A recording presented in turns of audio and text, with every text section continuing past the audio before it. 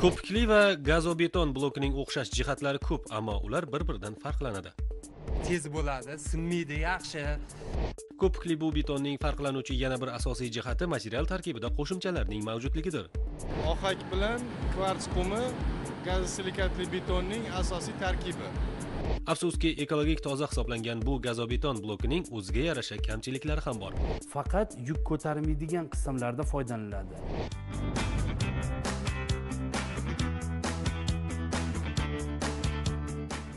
qurilishda bir odat bor. Dastlab betonning asosiy qismi poydevor armatura hamda temir beton bilan mustahkamlanadi. Karkaslar bir biriga ulanib uning oralig'iga g'ishtlar teriladi. Keyin tom qismiga o'tiladi. Shu bois bu ishlarni tez va samarali olib borilishi muhim ahamiyatga ega. Biz bugungi ko'rsatuvimizda binoning qad rostlashida muhim ahamiyatga ega bo'lgan qurilish materiallaridan gazobeton bloki ko'pikli beton blokiga qaraganda uning ko'zga tashlanadigan jihatlari haqida ham fikr yuritmoqchimiz. Xo'sh gazobeton bloki mahsuloti qanday qurilish materiali hisoblanadi? Gazobeton o'zi o'z nomi bilan gazobrazovание deyiladi. Ya'ni qumni suv bilan maydalab maydalab qum bilan gipsni suvda maydalaymizda uni shlamga keltiramiz. Shlam deb nomlanadi. Va shu shlamga e, keyingi jarayonimizda shlamga biz sement ohak va alyuminiy pasta qo'shamiz. Uni aralashtirib formaga quyamiz. Formada e, quyganimizdan keyin u uch soat mobaynida oltmish darajada kamerada ehm, ishish jarayoniga yetguncha saqlanadi. Ya'ni e, poristi struktura deyiladi. Poristi strukturasi bir maromga kelguncha uch soat mobaynida ushlab turiladi.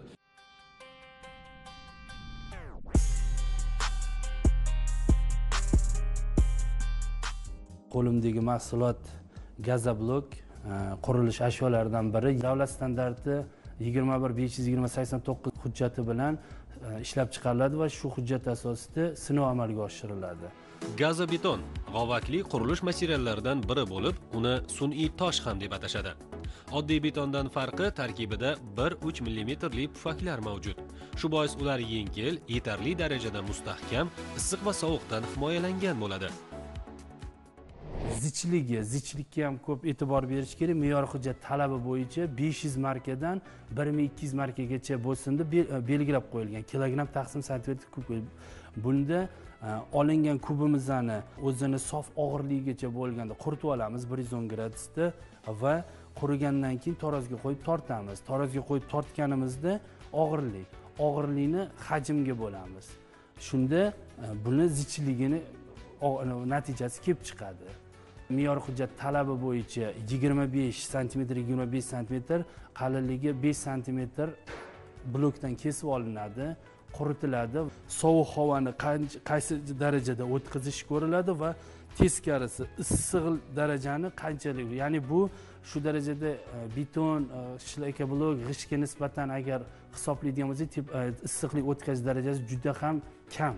Bu degani issiqlikni ya'ni qish kunida issiq havoni tashqariga chiqarmaydi sovuq ichkariga kirgizmaydi. Yozda teskarisi sovuqni ko'cha tomonga chiqarmaydi.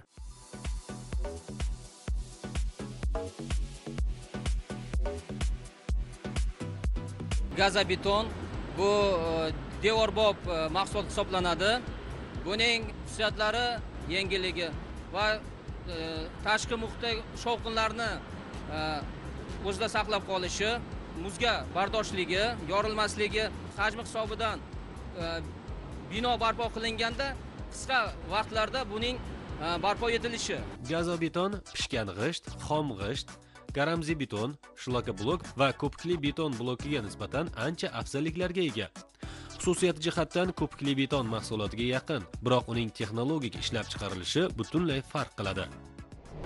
Bu yerda mana orqa tarafda ko'rib turibsizlar xomashyolar e, to'plangan bunkerlar. Buni boshqachasiga dozator deb aytiladi ya'ni o'sha kerakli miqdorda har bitta komponentini dozalab beradi. Chap qo'limizda hozir ohak xomashyosi va undan keyin kvarts qumini e, aralashtirib e, keyingi uzilga jo'natadi. U uzilda maydalash jarayoni ketadi. Ohak bilan kvarts qumi gazosilikatli betonning asosiy tarkibi.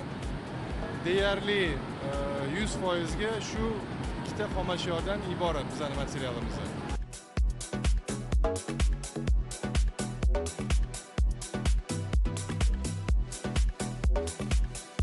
hamma uskunalarimiz avtomatik tarzda ishlaydi. Kompyuter orqali operatorlar boshqaradi. Bu e, texnologik jarayonni buni ishlab chiqarish quvvati biz ho- ho- hozir ikkita avtoklav o'rnatganmiz. Ikkita avtoklavning ishlab chiqarish quvvati besh yuz oltmish metr kub kuniga ishlab chiqarish imkoni bor.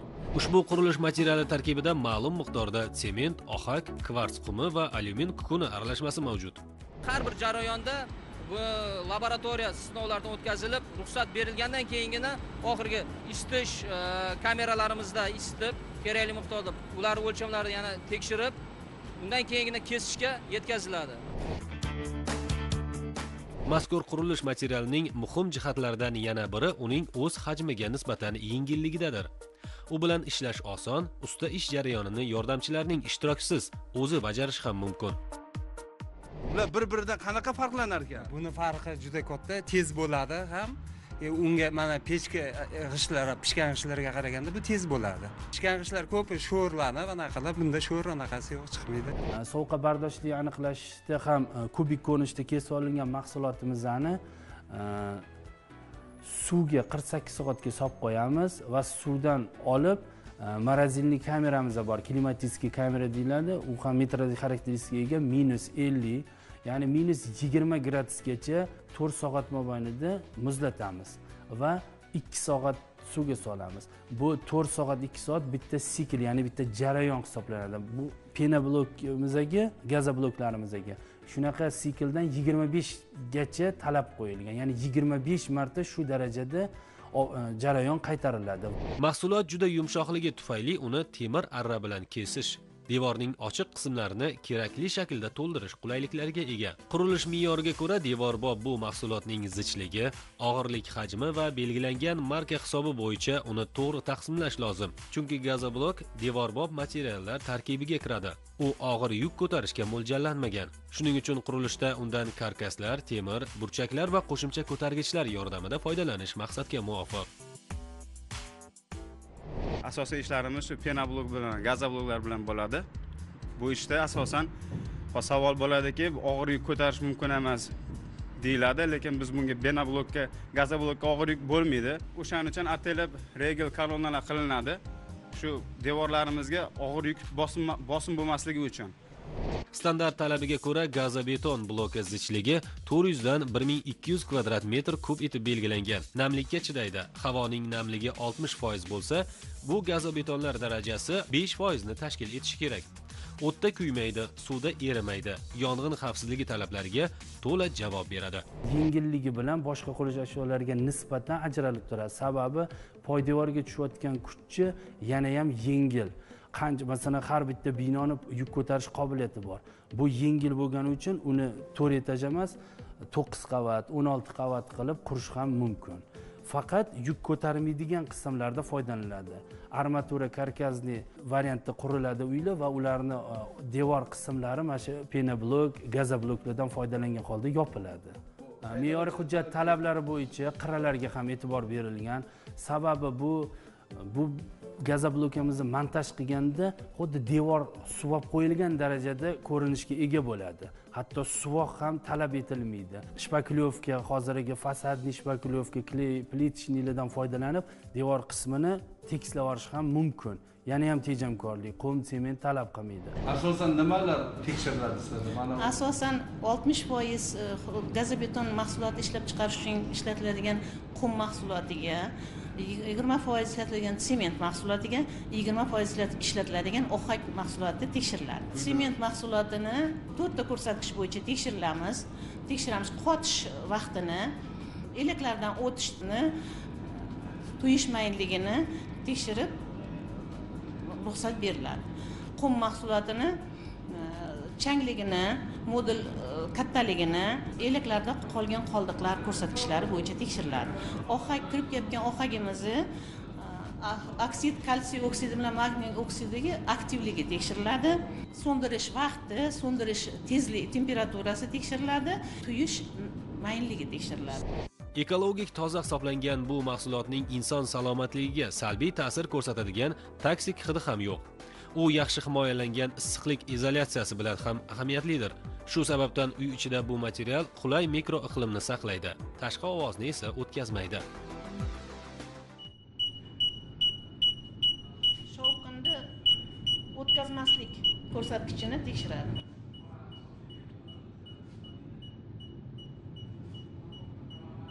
Yevropa mamlakatlarida ham bunday gazobeton mahsulotlarini qurilish uchun ishlatish ancha taraqqiy etgan turkiyada ham so'nggi yillarda undan qurilish materiali sifatida keng foydalaniladi. Qariyb 15 yildan beri shu yo'nalishda mehnat qilaman. Avtoklav uskunasi yordamida o'zbekiston diyorida ilk bor ishga tushgan bu korxonada bor imkoniyatni ishga solib mehnat qilmoqdamiz. Natija yomon emas ishlab chiqarilayotgan bu mahsulotlar mana 2-3 oydirki qurilish maydonlariga paydarpay yetkazilib turibdi. Darhaqiqat ishlab chiqarish texnologiyasiga ko'ra kvars qumi ohak sement va alyuminiy kukuni aralashmasidan iborat ushbu mahsulot reaksiyaga kirishib vodorod hosil qiladi. Shu bois uning asosini suv tashkil etadi. Kuchli gazning shakllanishi bilan mahsulot tarkibida havo pufakchalari paydo bo'ladi deyishadi mutaxassislar. 400 gradusgacha chidamli ya'ni e, yonmaydi bu mahsulot. Ekologiya jihatdan bu mineral xomashyolardan tayinlanganligi sababli e, bu ekologik toza mahsulot hisoblanadi.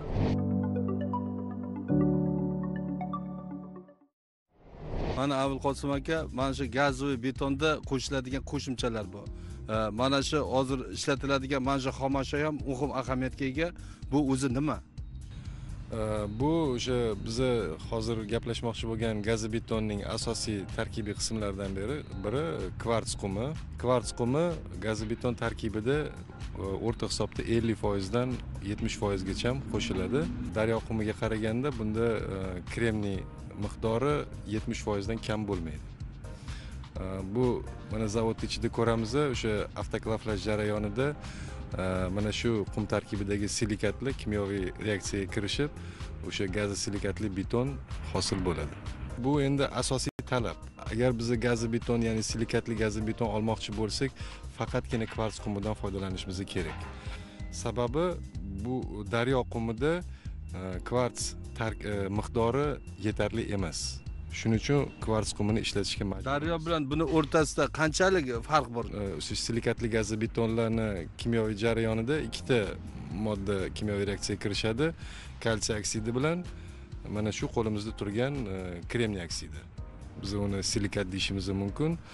E, yoki o'sha kvarts qumi endi bu juda muhim e, qo'shimcha bu e, gazobeton tarkibida endi biz bir tarafdan qumni to'ldiruvchi sifatida ko'rishga o'rganib qolganmiz e, silikatli gazobetonlarni tarkibida bu ham to'ldiruvchi ham e, bog'lovchi sifatida mustahkamligiga jiddiy ta'sir ko'rsatadi. Tanganing ikkinchi tomoni ham bo'lganidek gazobeton blokining eng asosiy kamchiligi uning mo'rtligidir ehtiyotsizlik tufayli uni kesish va ko'tarib tushirish jarayonida e'tiborsizlik qilinsa qurilish materialining burchak hamda qirra qismlariga darz ketish holatlari uchraydi. Gazobeton bloki belgilangan masalan ortiq og'irlikni ko'tara olmaydi. Tashish va yuklash jarayonida albatta bexos tushadigan zarbadan ehtiyot bo'lgan ma'qul. Har qanday yana bu ishlab chiqarishda qanchadir foiz miqdorda e, brak mahsulotlar chiqadi. Bu brak mahsulot chiqqan taqdirda ham bu производство shunday o'ylanganki qayta ishlab chiqarish uchun u ham ko'zda tutilib kesma e, dastgohlarimizda o'tgan e, o'sha kesilgan mahsulotlar otk tomonidan qabul qilinmaganlari biz qayta ishlab oz miqdorda yana uni производствоda ishlatishimiz mumkin. Bular ham ko'zda tutilgan. Bu qanaqa hajmlarda ishlab chiqariladi va bu iste'molchilarga yetib borish jarayoni qanday kechadi? Iste'molchilarga yetib borish e, bizda otk laboratoriyadan e, nazorat e, nazoratdan o'tgandan keyingina ishlab chiqargandan keyin ikki sutkadan keyin bu tayyor mahsulot omborlarimizda saqlanib keyingina iste'molchiga yetkaziladi.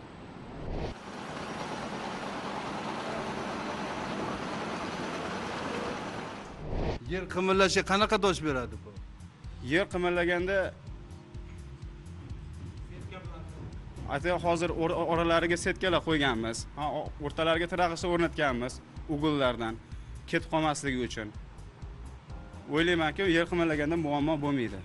Gazoblok yordamida qurilgan devorlarda suratli va manzarali ramkalarni televizor hamda osmon bibellarni o'rnatib bo'lmaydi. Materiallarning g'ovak qismi o'ta mo'rtdir mahsulotning kamchiligining yana bir jihati shundaki gazobeton bloki zaxni o'ziga tez tortib oladi ammo namlikni o'zida uzoq saqlamaydi. Aksincha u tez quriydi.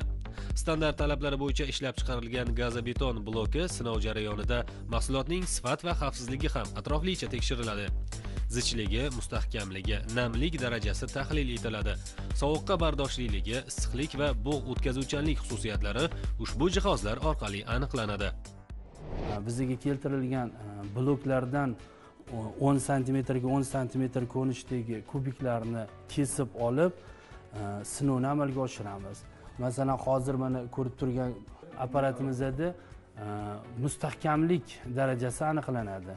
Mustahkamlik darajasi me'yoriy hujjat talabi bo'yicha b bir yarim ya'ni m e, yigirma besh marka deb ko'rsatilgan undan kam bo'lmagan. Bu marka so'zi nimada ya'ni tepadan tushayotgan kuchni e, bir santimetrga qancha ta'siri ya'ni qancha masalan yigirma besh kilodan kam bo'lmagan e, ta'sirga chidashi kerak.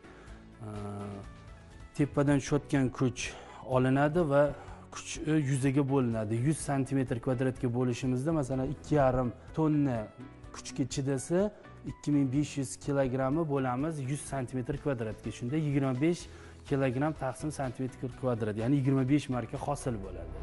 Uy joy yirik korxonalar va infratuzilma obyektlari qurilishi kengaygan sari tabiiyki sifatli mustahkam inson salomatligiga xavfsiz qurilish materiallariga bo'lgan talab hajmi ham oshib boraveradi. Tahlillarga ko'ra bugun yurtimizda 10 mingga yaqin katta kichik xususiy qurilish materiallari ishlab chiqaruvchi korxonalar faoliyat yuritmoqda.